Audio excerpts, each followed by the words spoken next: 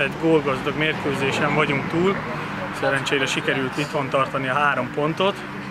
Úgy gondolom az első félidő elején nagyon jó játszottunk, jó kezdtünk, sikerült is egy szép támadás végén gólt szereznünk, majd utána a vendégcsapat átvette a irányítást, 20. perc környékén.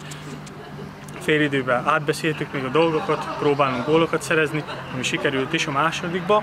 Sajnos elkerülhető gólokat kaptunk, ebből tanulni kell, megyünk tovább, készülünk a következő mérkőzésre. Gratulálok a csapatomnak!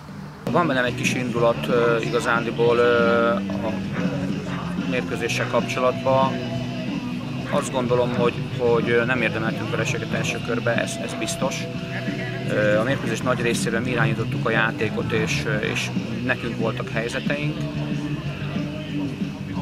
Ha lehet így fogalmazni, nagyon rossz ütembe és nagyon rosszkor kaptuk a gólokat, amire megpróbáltunk válaszolni és, és, és meccsbe tartani saját magunkat, de sajnos ez nem sikerült. Volt egy-két olyan hátrádott tényező, én azt gondolom, hogy két kiállítás elmaradt a mérkőzésen,